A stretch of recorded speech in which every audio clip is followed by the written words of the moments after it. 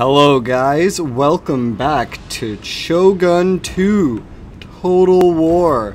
Today we have something very, very different. We have a naval battle, that's right.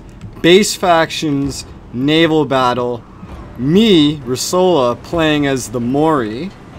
These guys have the best but most expensive ships. Really, they're basically the same thing, they just come with better stats in most cases. But uh, here I have four Mori Bow Kabayas. These are my light ships. Look at that. Over here I have two Mori Siege Tower Boons. And over here, three Mori Medium Boons, or technically they're actually called Boones, but uh, I call them Boons. Fight me. And then of course, a Nihon Maru on the opposing team, we have Dr. Dave, who, as you've recently seen, slaughtered Demo with a cav charge. He brought three Sengoku boons, four Sengoku boons, a Siege Tower boon, one, two, three medium boons, two, oh, two Firebomb Kabayas. These are little pesky things. And he's playing as the Oda. Right now, there's just a hell of a lot of posturing going on. I'm, my my ships are getting a little like stuck on this island trying to position themselves. I was sending these guys over here and he started sending the Sengokus over here. I don't think that was intentional, but Sengokus do counter any small kabayas like this.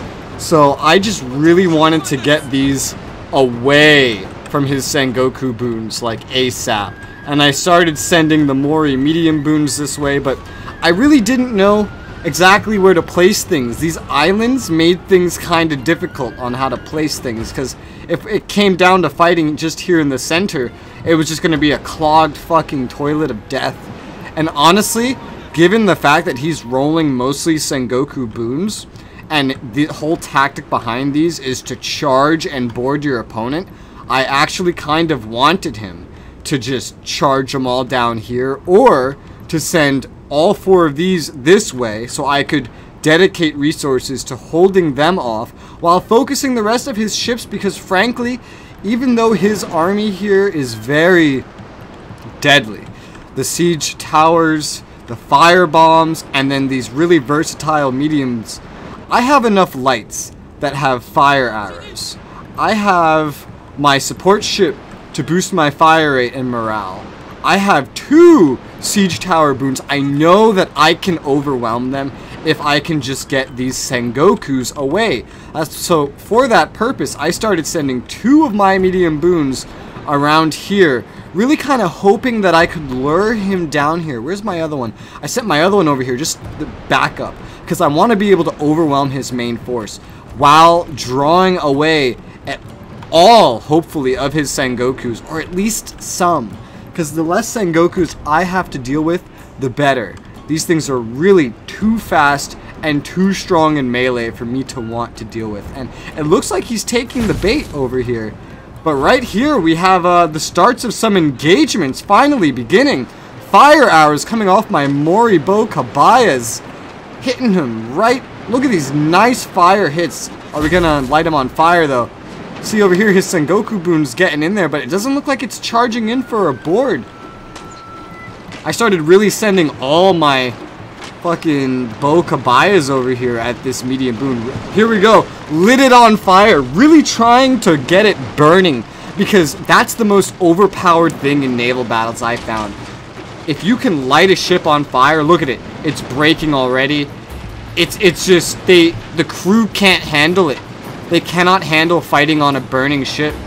And he has to stop to repair to actually put it out. And he's not doing that. He's just charging it in. And because of that, it's now routing and gonna surrender. He's charging everything. Look, look at these Sengokus rushing through. I got over here his Siege Tower boons and two Sengokus distracted with these mediums. He's got a Firebomb Kabaya coming in. I'm quickly breaking it because I know it's a threat. I'm putting everything that I can into really kind of trying to take it out. Especially, here's another one. now that I've made this one route, I really have to get this one. Because look, it's already throwing fire bombs. And these will destroy me if I don't get it down quick enough. Look, it's already flinging my crew out. They're, already the ship is breaking after just basically a single volley from this firebomb Kabaya. I have my Nihon Maru firing at it because I know if this reaches my Nihon Maru, that's my biggest asset. Gone. He already got this bow Kabaya like it's nothing. Another one. Routing as the rest of them are getting cut off, but I might get this one to route as well. This one's still on fire, routing off into the distance. His Sengokus never got to board anything over here. They were all made to route too early, and thank God I now got this Firebomb Kabaya. Over here, he's sneaking his siege tower past me. And these Sengokus, he didn't go in for the board for some reason, even though that's the strength of the Sengokus. My siege tower boon opening fire on his. Gotta love those matchlocks. These guys are real fucking strong. His starting to open fire now, too. Oh, look at it. Brutal. Brutal what matchlocks can do, especially when they have a siege tower to fire off of. I'm starting to move mine away because it's starting to take some some real morale hit here and I don't want it to get caught by these Sengokus.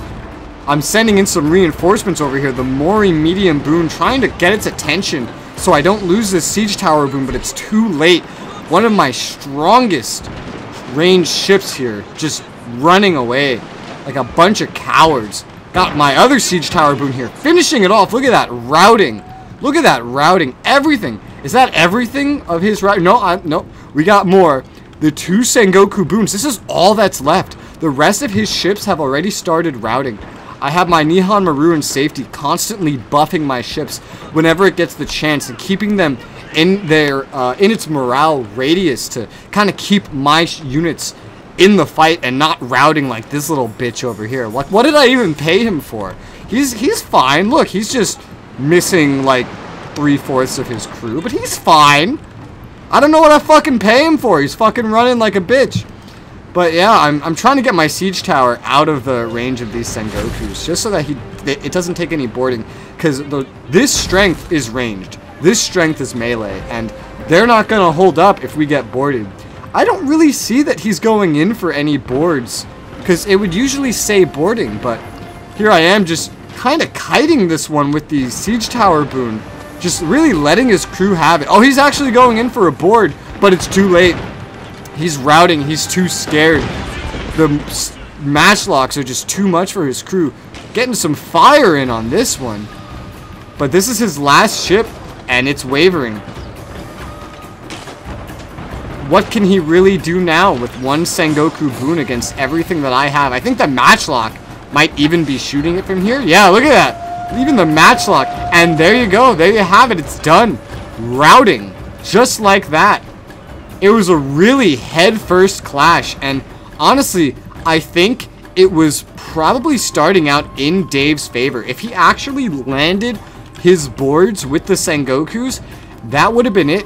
There would have been no way that I could have won that. I didn't have anything that could handle boarding from this. I could have tried if to protect myself with the medium boons because they have a war cry ability, but if he landed that on like a siege tower or something else, it would have been too much, but thankfully it all worked out. I managed to keep his Sengokus distracted or quickly routed them. The fire bombs taken care of thanks to my siege towers. And just like that, we have the first naval battle of the series. Hope you guys enjoyed watching this. Let me know if you want to see more naval battles. Uh, definitely going to do some once we get to Rome 2. Sadly, Warhammer doesn't have these, but uh, the Shogun ones can be kind of iffy, so we'll see how you guys like it. Let's look at these kills. Mori Siege Tower boons. 68 kills. Damn. None lost on it. That's that's insane. 49 from this medium boon. Fucking fantastic. One siege tower boon really, really did it for me. Look at that. Imagine fighting in one battle as like a private and getting promoted to like a sergeant. Just after that one fight that took you like 10 minutes. That's what just fucking happened here. Incredible. Let's look at his army. Uh, mainly his uh, media. Oh, the firebomb Kabaya. Yeah, dude. This just ran in there and destroyed one of my Bow Kabayas like it was nothing. That was a real winner right there, but a lot of potential that was missed. And really, with these Sengoku boons, he didn't land a single board. I don't know if he just didn't know what they were for. I feel like he did. He just didn't have any luck. But at the same time, he went past some of my ships too, so I'm not sure what was happening there. But uh, there you have it. Thank you very much for watching. And we're going to keep this series going nice and strong. Hope you guys are having a blast, and I'll see you on the next one. Bye-bye.